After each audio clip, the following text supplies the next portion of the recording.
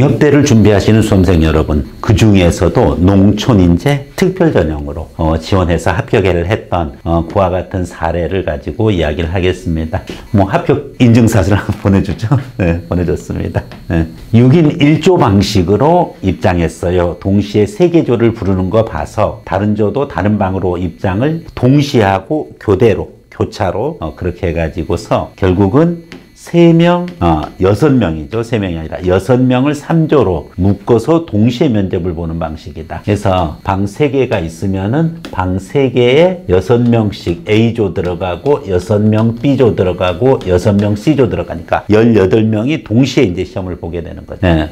근데 그 여섯 명에다가 두 개 질문씩을 줍니다. 두 개 질문씩을 주면은 총 여섯 명이니까 방 하나에 몇 분이 걸려요? 12분씩 걸립니다. 그러니까 12분씩 이동하면서 보니까 총 면접 시간이 36분 걸리는 거죠. 네. 이 옮기는 그런 방식 자체는 MMI 면접이에요. 의대에서 보는 면접. 그렇지만은 내용들이 의대처럼 뭐 인성방, 상황방, 모의 상황방 이렇게 확실히 내용이나 면접 방식이 구별되어 있는 건 아니에요. 다만 형식 틀은 MMI 면접을 갖고 있다.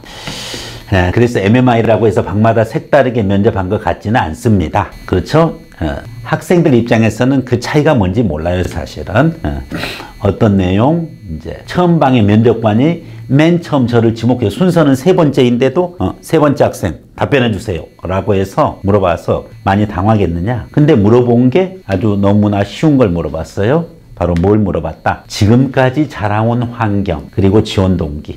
요게 학원에서 연습했던 성장 과정에 대해서 얘기해 보세요. 어, 지금까지 학생이 자라왔던 성장 배경에 대해서 지원 동기.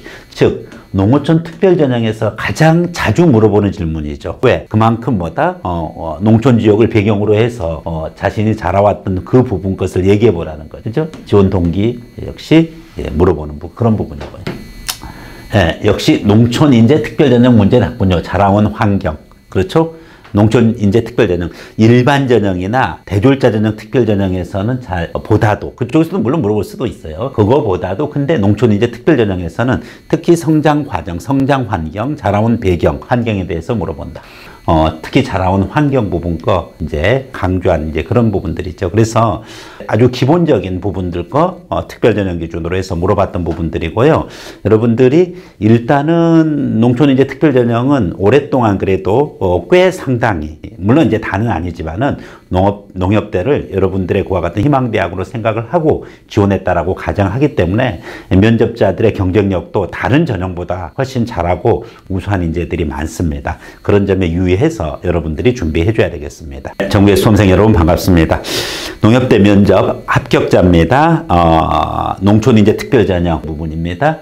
2월 8일 금요일 오후 8시 반 네, 결과 나왔는데 붙었어요. 어, 돈 많이 받았어요. 음, 대박 이모콘 뭐 나오죠.